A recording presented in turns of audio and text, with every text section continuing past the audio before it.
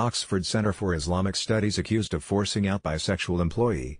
To view the full article, click the first link in the description below.